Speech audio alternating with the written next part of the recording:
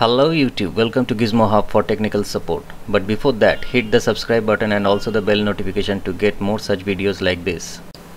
Video is going to be a short and simple comparison video between the Intel's i5 and the new Apple's M1 chip on MacBooks. On my left is the Intel's i5 processor on MacBook Air and on my right is the new 2020 Apple's M1 chip on MacBook Pro. So let's begin the test. First I will start with the boot up test.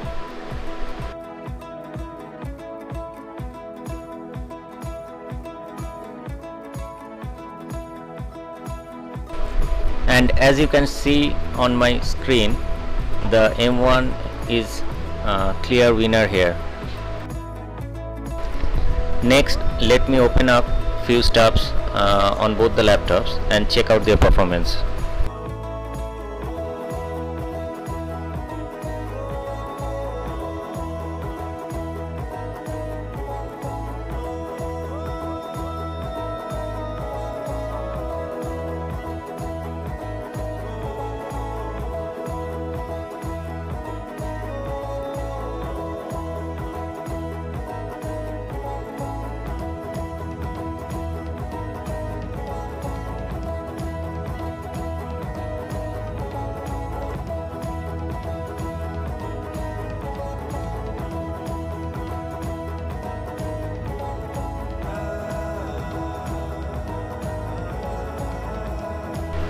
And as you can see uh, opening the about this Mac finder and even the web browser Safari uh, M1 is pretty faster than the Intel's i5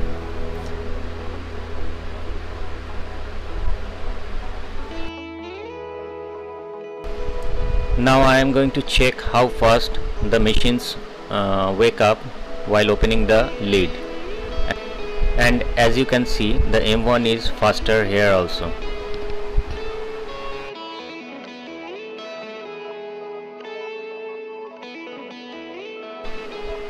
And finally my last test will be how fast these machines shut down.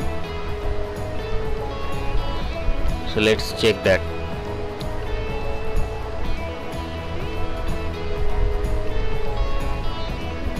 wow the M1 is still faster here.